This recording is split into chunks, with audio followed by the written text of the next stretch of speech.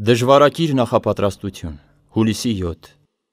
Օգնությունը, ուրախությունը և խաղաղությունը միշտ ձեր տրամադրության տակ են: Սրանք ստանալու համար ձեր արիակամ կեցվածքը անշուշտ կվարձատրվի: Թեկուզ տառապալի է այս ժամանակը, բայց դուք պատճառը տեսնելով մի օր կհասկանաք, որ այս փորձաշրջանի դժվարությունը բնավ էլ ինքնանպատակ չէր, այլ հոգատար պատրաստություն էր կատարելու համար սքանչելի այն գործը, որի համար կանչված եք: Համոզված եղեք, որ ձեր աղոթքները անպատասխան չեն մնացել: Միայն այնպես են պատասխանվել, որ ձեզ դժվարակիր են թվացել: Բայց այդ է ներկա ժամանակի միակ հնարավոր եղանակը: Նյութաշխարհի մեջ ձեռք բերած հաջողությունները չպետք է գոհացնեն ձեզ: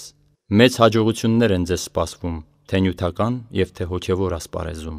Համոզված եմ, որ կհասկանաք, թե ամեն ինչ ճիշտ է ընթանում: